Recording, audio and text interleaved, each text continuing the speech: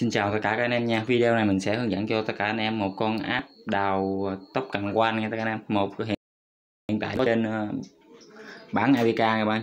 Nó trong chương trình đàm phán sẽ có mặt trên Sitlay hoặc là App Store vào ngày 18 tháng 3 sắp tới nha các bạn. Thì ờ, để ờ, tham gia giá hôm nay, quản lý phần link mô tả mình các bạn đăng ký một cái tài khoản nhé.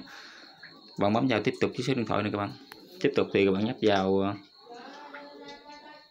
chỗ qua Việt Nam á hiện tại con app này rất là mới nên tốc độ đào nó là phải ba ba phẩy sáu phần trăm một giờ nha các bạn. Rất là mạnh luôn các bạn. Nên bạn nào, các bạn nên tham gia đào sớm các bạn. Rồi tiếp tục số điện thoại thì các bạn bỏ không đầu các bạn. Ba hai chín chín, ba một năm bảy bảy. Rồi các bạn bấm nút nét tiếp các bạn.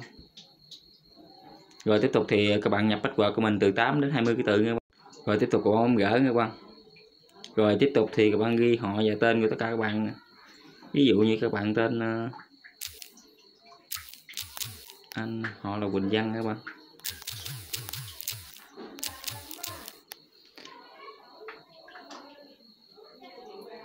Vui lòng ờ, đây là mã mờ của bạn để giới thiệu. Những người khác thì ờ, đây thì các bạn tự đặt account của bạn quá mã mờ của mình là anh 4 số 1 luôn nha các bạn. Các bạn gỡ nè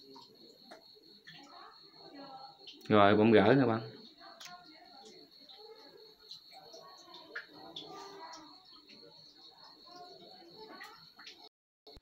sau khi các bạn đăng nhập thì các bạn sẽ thấy nè các bạn số dư trong dưới trong dưới của bạn là một tô cần các bạn tốc độ đào là 3,6 phần trăm một tô cần nè các bạn. Sau 4 giờ thì các bạn vào các bạn. Thì uh,